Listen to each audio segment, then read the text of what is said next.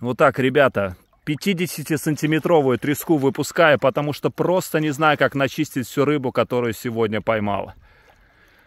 Ох, вот это феерическая рыбалка.